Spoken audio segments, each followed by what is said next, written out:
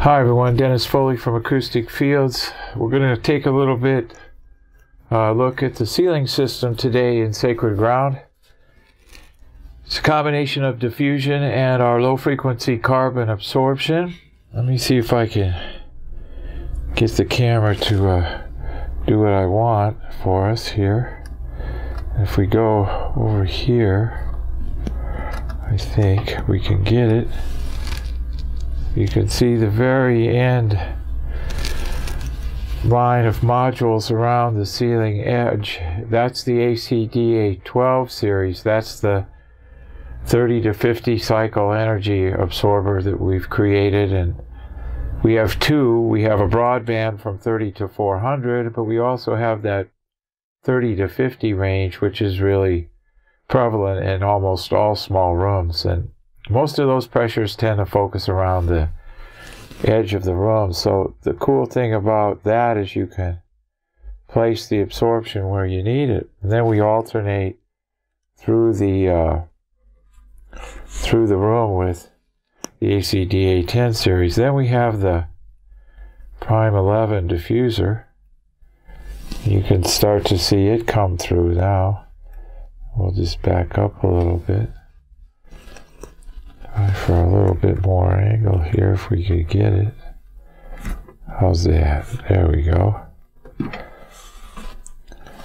You can see the whole room, the whole ceiling is a, an array of absorption and diffusion throughout the whole ceiling. Now we chose solid absorption over the speaker area here.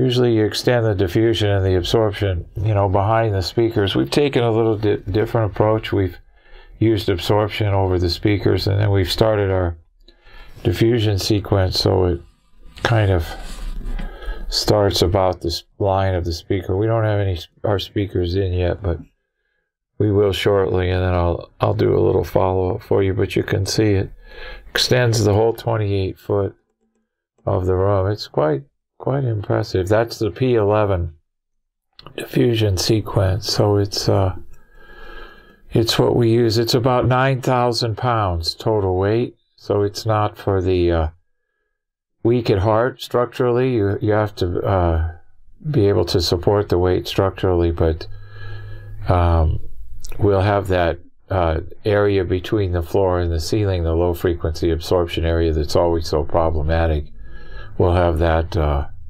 addressed with this issue, with this uh, ceiling system here. So it's uh, quite a neat, both vertical and horizontal diffusion, as you can see throughout the ceiling. So it uh, individual modules that we build and then support them between a frame structure. So there's the ceiling uh, for Sacred Ground. Uh, more to come. Thanks. I hope you enjoyed today's video. If you did, give me a thumbs up so I know that it had value to you. And please, if you have any questions, leave them in the comment section and I'll be more than happy to answer them for you. Alternatively, if there are other topics that you wish to discuss, discuss or see discussed in a video presentation, send me a, an email, info at acousticfields.com, and uh, we'll get them on our list and, and, get them done for you. I release a new uh, video about every week. So stay tuned to our YouTube channel and keep uh, updated on our new videos.